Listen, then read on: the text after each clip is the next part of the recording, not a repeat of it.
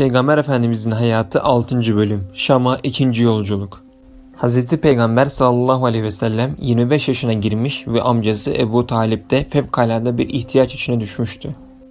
Bu sırada Ebu Talip'in kız kardeşi Atike bint Abdülmuttalip kardeşine Ey Ebu Talip artık o o Muhammed'in emini Kureyş kızlarının biriyle evlendirelim dedi.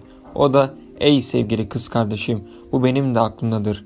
Fakat gayreti çok fakat talihi kötü olan kimse bu alemde gece gündüz figan eder. İçine düştüğüm fakirlik ve ihtiyaç hali düşündüğüm şeyin gerçekleşmesine mani oluyor cevabını verdi.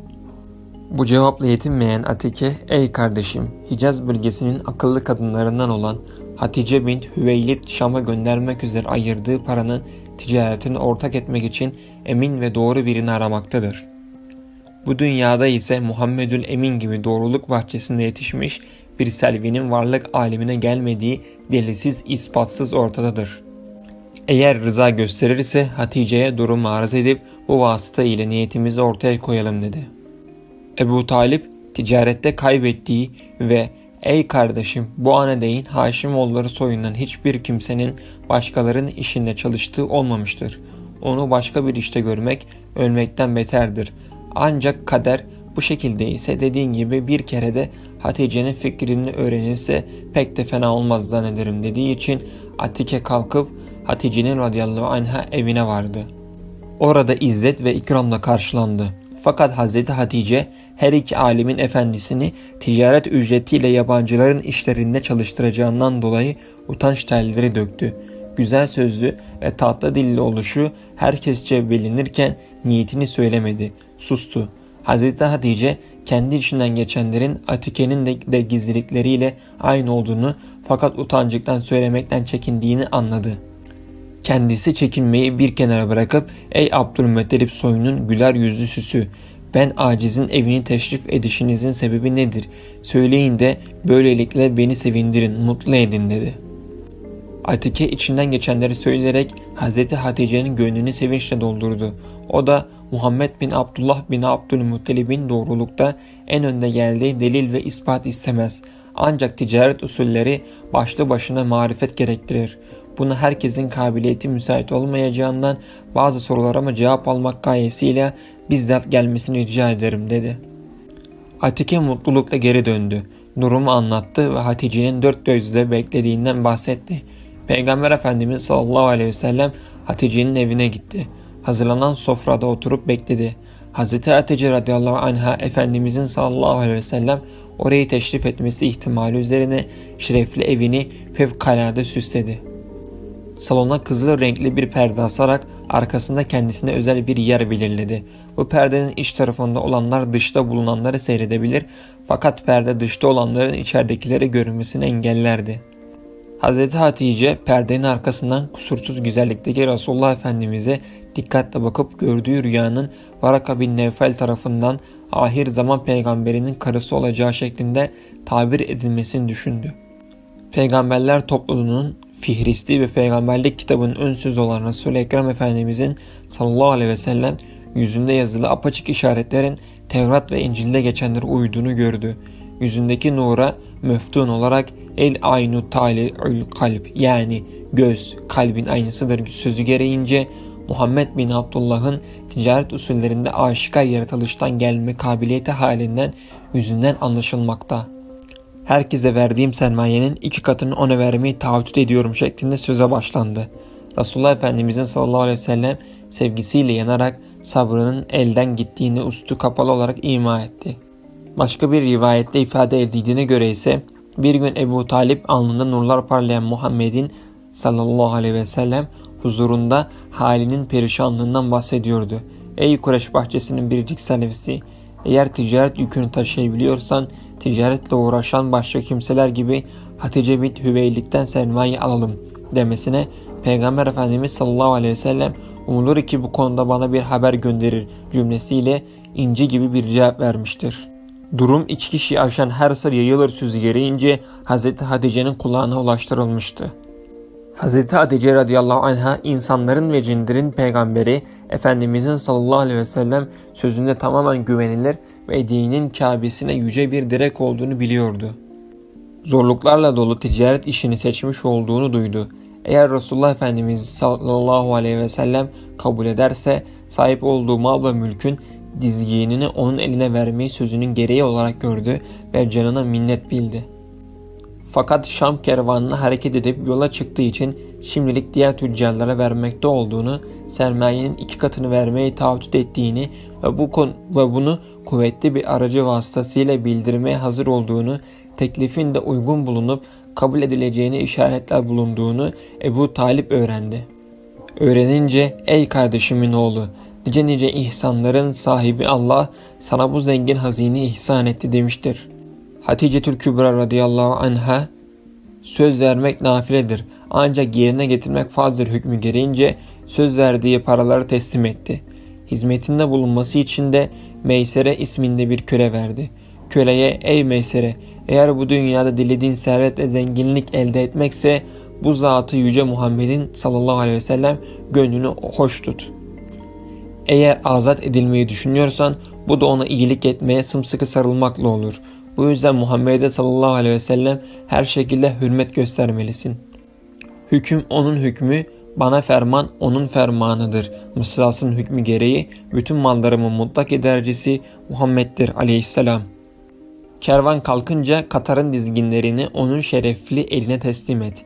Kervan biraz açılınca şu bohçada bulunan kıymetli elbise ona takdim edip kendisine tahsis ettiğim deveye bindir ve kutlu yuları da kendi elinle tut. Zira yok olmaya mahkum bu dünya sarayında rahat ve huzurlu olman onun rıza ve merhametini elde etmene bağlıdır diyerek nasihatta bulundu. Peygamberlerin önderi Efendimiz'i sallallahu aleyhi ve sellem Allah'a emanet edip uğurlama merasimini eksiksiz yerine getirdi. Kervanın yola çıkacağı gün Beni Haşim soyunun ileri gelenleri mahlukatın efendisi Hz. Peygamberi sallallahu aleyhi ve sellem uğurlamak, Mekke'nin diğer sakinleri de kervandakilerin hareket edişini seyretmek için alışıldığı üzere aynı yerde toplandılar. İstikamet yolundaki kafilenin başı Efendimiz Aleyhisselatü Vesselam'ın Haticetül Kübra'nın radıyallahu anha mahallesinden çıkıp geldiği ve mübarek elinde Hz. Hatice'ye ait kervanın yularının bulunduğunu gördüler. Bunun üzerine Haşimoğullarının ileri gelenleri hayret ve ıstırap deryasına battılar. Bu sırada Ebu Talip kendisinde konuşmaya derman bulamadı. Elinde olmadan bulut bulut olmuş gözlerinden inciler dökerek sustu. Sonrasında Atike yürek yakan bir feryatla Ey Amine, ey Abdullah ve ey Abdülmuttalip bir kere başınızı kaldırın da nazlı beşiklerde büyüyen şerefli ciğerparenizin ellerin hizmetine girdiğini görün diyerek dört bir yana velvele saldı. Dayanamayıp peygamberlik bahçesinin taze fidanı Resulullah Efendimiz'e sallallahu aleyhi ve sellem sarılması ve kendinden geçişini görenleri dilsiz ve şaşkın bıraktı. Atike'nin dünyayı kavuran ahı yankılanıp melekler alemine kıvılcımlar saçtığı ve tebliğ bağının bülbülü Efendimizin sallallahu, sallallahu aleyhi ve sellem sadık dostlarına hazin hazin veda ettiği sırada gökteki bütün melekler feryat ve figana başladılar. Ey zeval bulmaz, kayyum olan Allah! Hatice'ye radıyallahu anh'a ait Katar'ın yollarını elinde bulunduran Muhammed, o Muhammed'dir ki o olmasaydı alemden yaratılmazdı.'' Ona burak olacak Cebrail'in mertebesini senin dergahına yakın olan mukarrabin melekler arasında yücelttin. Senin bu genç sultanın yeryüzünün bütün hazinelerine sahipken bunun gibi bir hizmette bulunması hepimizi telaş ve merak içinde bıraktı dediler. Sizin bilmeyeceğinizi herhalde ben bilirim. Ayetin tasdikiyle ey zahire göre hüküm veren melekler bu gördüğünüz hikmetli hal size bir ar gelmesin.'' Benim ilahi muhabbet kaidem bunu gerektirir şeklinde bir ilahi hitap gerçekleşti. Bir müddet sonra Bahira'nın kilisesine ulaşıp mabet karşısında bulunan ve 7. kısımda bahsedilen ağaç altına indiler. Vefat etmiş bulunan Bahira'nın yerine geçen ve Meysere ile daha önceden tanışıklıkları olan Rahip Nestura onları hoş geldilerle karşıladı.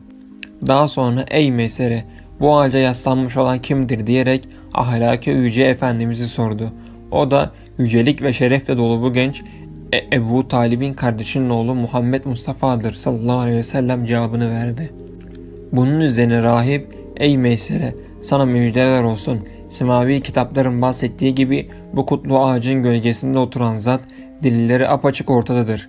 Beklenen ahir zaman peygamberidir diye konuşmaya başladı.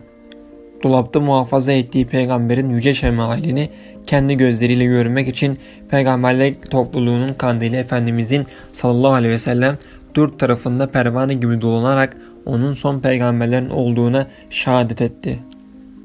Yolculuk sırasında meydana gelen harika olayları Meysere'den dinleyip allah Teala onun şanını yücelsin övgüsüyle sözler söyledi.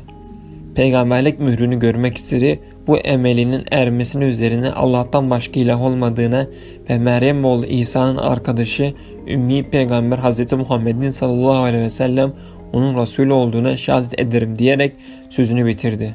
Meysere'ye hitaben sakın bu kıymetli ve kutlu mücevheri Şam'a götürme. Zira Şam Yahudilerin hepsi onun kanını susamışlardır şeklinde kendisine kat'i tavsiyede bulundu. Rahip Nestura'nın verdiği nasihatler üzerine Doğruluk Meydanı'nın efendisi eldeki malları Musra çarşısına satıp satın almak istediği malları da aldıktan sonra Allah'ın yardımı ve rehberliğiyle Mekke-i Mükerreme'ye ulaştı. O gün Hatice Kübra radıyallahu anha cariyeleriyle yüksek bir balkonda bulunuyordu. Şam'dan gelen kafilede bulunan bir kimsenin kutlu başının üzerinde yeşil bir kuşun saygıyla gölgelik ettiğini görmüştü. O yüce ve talihli kişi acaba hangi ulu sultandır diyerek düşüncelere dalmıştı. Birden Meyser'e gelip o gölgelenen kişinin din kafilesinin önderi Muhammedül Emin aleyhisselam olduğunu beyan etti. Yol esnasında gördüğü harikuladelikleri ve rahip Nestura ile olan hikayeyi anlatarak Hz. Hatice'nin göğsüne dayanılması güç bir ateş daha bıraktı. Bu mübarek yolculukta yapılan ticaret diğer senelerdeki seferlerde elde edilen kazancın 100, 100 misli olduğu muhasebecilerle hesaplandı. Böylece Peygamberler Sultanı Efendimiz'e sallallahu aleyhi ve sellem duyduğu sevginin fidanı Hz. Hatice'nin gönül bahçesinde iyice kökleşti. Peygamber Efendimiz sallallahu aleyhi ve sellem evlenme arzusuyla Hz. Hatice gönlündeki sırrı Nefise bint Münniye yani Ümeyse vasıtasıyla insanlığın efendisi Hz. Peygamber sallallahu aleyhi ve sellem arz etti. Uygun görüldüğünden ertesi günü ki ikinci Şam seferinin 84. günü nikah kıyılması için Varaka bin Nefel bin Esed ve Amr bin Esedi'yi getirttiler. Durum Kureyş'in Şahı Resulullah Efendimiz'e de sallallahu aleyhi ve sellem arz edilmişti. Hamza bin Abdülmuttalib'in refakatiyle Hz. Hatice'nin evini teşrif etti. Daha sonra Haşimoğullarının büyükleri de nikah meclisine götürülerek mertebelerine göre yer gösterildi. Peygamberlerin önderi Efendimiz sallallahu aleyhi ve sellem tarafından Ebu Talip, hanımların önderi Hz. Hatice tarafından Varaka bin Nefel vekil kılındı. Arap adetlerine uygun olarak güzel birer konuşma yapılarak orada bulunanların önünde 400 miskal saf altın mehri muaccel yani peşin mehir ile nikahları kıyıldı. Zifaf adetleri de o gün yerine getirilerek aralarında tarifi imkansız derecede bir muhabbet ortaya çıktı. Nikah kıyıldığı zaman Peygamber Efendimiz sallallahu aleyhi ve sellem 25, Hazreti Hatice 40 yaşlarındaydı.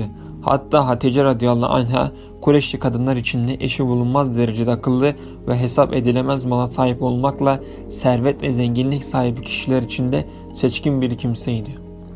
Bununla birlikte samimiyeti dolayısıyla Resulullah Efendimizin sallallahu aleyhi ve sellem evinde hizmet etmiş, malının mülkünü onun uğruna